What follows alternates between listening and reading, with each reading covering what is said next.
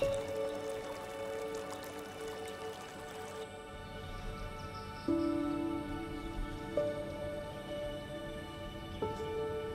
มชอบมากที่ให้บ้านอยู่กับธรรมชาติ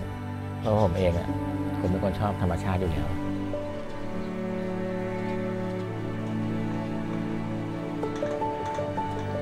เราวิ่งหาธรรมชาติมามากมาย ไม่ว่าจะไปที่ไหนก็แล้วแต่พอเรามาเจอที่นี่ปุ๊บบรรยากาศมาอยู่ใกล้เราแล้ว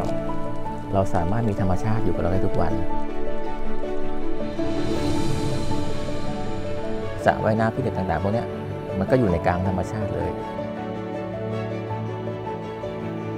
ถ้าบรรยากาศดีเนี่ยความสุขก็จะดีไปด้วยนะครับไม่ว่าจะเป็นเรื่องของธรรมชาติต่างๆ รอบกายเรื่องสังคมการเป็นอยู่ สังคมใหม่ตอนนี้เหมือนกับว่าห่างธรรมชาติเกินไป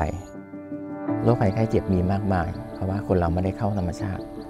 ไมันเป็นเรื่องอาหารการกินการออกกำลังกายหรือที่อยู่อาศัยก็แล้วแต่เนี่ยอยู่ห่างธรรมชาติเกินไป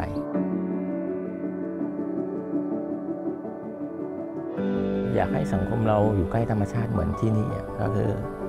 เห็นว่าทุกคนออกมาวิ่งกันตอนเช้าออกกันออกกำลังกาย มันมีให้ที่ให้ทำเนี่ยคนก็อาจจะทำถ้าอยู่สังคมที่มันแออัดหรืออะไรเนี่ยก็ไม่มีโอกาสที่จะได้ทำ